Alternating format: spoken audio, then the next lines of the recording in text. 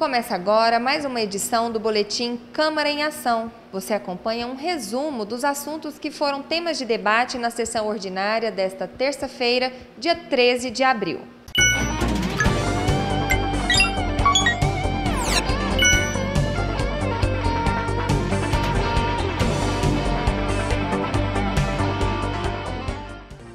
Foi aprovado em primeira votação um projeto de lei da vereadora doutora Trícia Barreto que reconhece a prática da atividade física e do exercício físico em locais abertos e fechados em Anápolis como atividade essencial. Uma das pautas da sessão ordinária de hoje foi o projeto de minha autoria que propõe a essencialidade da atividade física, seja em ambiente fechado ou aberto, público ou privado Lembrando que a academia é apenas um dos lugares onde se pratica atividade física. Eu estou falando de praças, clubes, piscinas, avenidas.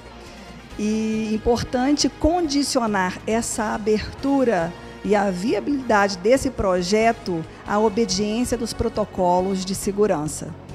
Agradeço, me coloco à disposição de vocês mais uma vez e conto com vocês que essa luta é nossa. Já o vereador Reamilton Espíndola falou sobre um abaixo assinado que recebeu em seu gabinete de comerciantes e feirantes que reclamam sobre o período de fechamento das atividades comerciais aqui no município em decorrência da pandemia do novo coronavírus. Recebi no gabinete é, um baixo assinado de alguns comerciantes e feirantes do nosso município e encaminhamos documento para essa casa, né, tendo em vista que o pedido é que continue moderado, pois na situação do lockdown, muitos dos comerciantes teve portas fechadas, aí é, tivemos uma escala muito grande de demissão no nosso município.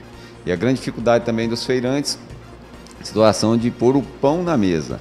Então, ouvindo né, essas diversas classes, né, encaminhamos né, ao poder público e a essa casa, né, fortalecendo aí esse baixo assinado, que é requerer que, né, caso vier um outro momento de lockdown no nosso município, que continue no modo moderado né, a matriz de risco. Outro projeto que os vereadores estão defendendo frequentemente em seus pronunciamentos é referente a um projeto de lei do Executivo que trata sobre a regulamentação urbana de Anápolis. A matéria deve vir em breve para discussão e votação em plenário.